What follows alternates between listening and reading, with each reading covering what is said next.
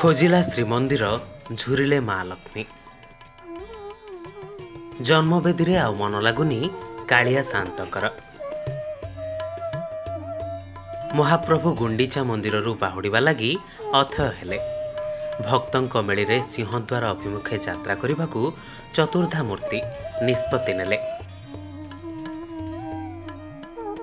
ଶ୍ରୀ ବିଗ୍ରହମାନଙ୍କ ଶ୍ରୀମନ୍ଦିର ଫେରନ୍ତା ଯାତ୍ରାକୁ ବାହୁଡ଼ା ବା ଦକ୍ଷିଣାଭିମୁଖୀ ଯାତ୍ରା କୁହାଯାଏ।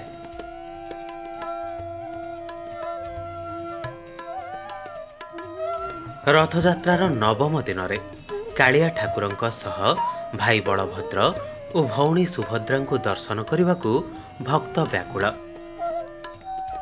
ଭକ୍ତର ଭାବନା ଏବଂ ଶ୍ରୀମନ୍ଦିରକୁ ଫେରିବା ପାଇଁ ଶ୍ରୀଗୁଣ୍ଡିଚା ମନ୍ଦିର ନାକଚଣା ଦ୍ୱାର ଦେଇ ତିନି ରଥରେ ବିଜେ ହୁଅନ୍ତି ଚତୁର୍ଦ୍ଧା ମୂର୍ତ୍ତି ତିନି ରଥ ମହାପ୍ରଭୁଙ୍କୁ ନେଇ ଶ୍ରୀମନ୍ଦିରରେ ପହଞ୍ଚାଇବେ। ବାଟରେ ମାଉସୀ ମାଙ୍କ ପାଖରେ ପୋଡ଼ପିଠା ଖାଇବେ। ସେପଟେ ଶ୍ରୀଅନରରେ ଗଜପତି ମହାରାଜା ଅପେକ୍ଷା କରିଛନ୍ତି ମହାପ୍ରଭୁଙ୍କୁ ମା ଲକ୍ଷ୍ମୀ ଠାକୁରାଣୀଙ୍କ ସହ ଭେଟ କରାଇବାକୁ। କାରଣ ମହାବାହୁଙ୍କ ଶ୍ରୀଗୁଣ୍ଡିଚା ଯାତ୍ରା ନେଇ ମା ଲକ୍ଷ୍ମୀ ସାନ୍ତାଣୀ ଅଭିମାନ କରିଥିଲେ। ସେଇଥିପାଇଁ ରାଗ ତମତମ ହୋଇ ହେରା ପଞ୍ଚମୀରେ ମା ଲକ୍ଷ୍ମୀ ଗୋପନରେ ଶ୍ରୀଗୁଣ୍ଡିଚା ମନ୍ଦିର ଯାଇଥିଲେ। ଆଉ କାଳିଆ ସାନ୍ତଙ୍କୁ ରଥରେ ବୁଲାଉଥିବା ଜଗନ୍ନାଥଙ୍କ ରଥ ନନ୍ଦିଘୋଷକୁ ଭାଙ୍ଗିଥିଲେ ମହାଲକ୍ଷ୍ମୀ।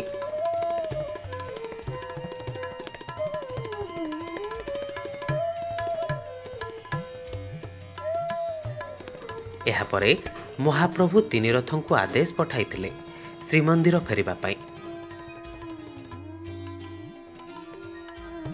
ସେଇଥିପାଇଁ ଗୁଣ୍ଡିଚା ମନ୍ଦିର ରଥ ଚକଡ଼ାକୁ ମହାପ୍ରଭୁଙ୍କ ଆଜ୍ଞାମାଳ ବିଜେ କରାଯାଏ।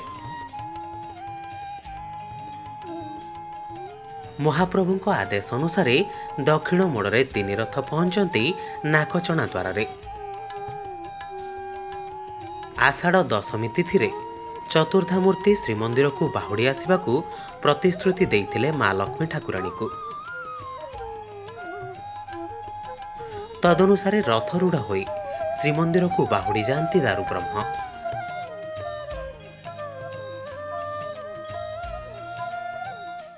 ଲାଟେଷ୍ଟ ଅପଡେଟ୍ ଭିଡ଼ିଓ ଦେଖିବା ପାଇଁ ଆମ ଚ୍ୟାନେଲକୁ ଲାଇକ୍ କରନ୍ତୁ ସବସ୍କ୍ରାଇବ୍ କରନ୍ତୁ ବେଲ୍ ଆଇକନ୍ରେ ପ୍ରେସ୍ କରନ୍ତୁ ଓ ସେୟାର ମଧ୍ୟ କରନ୍ତୁ।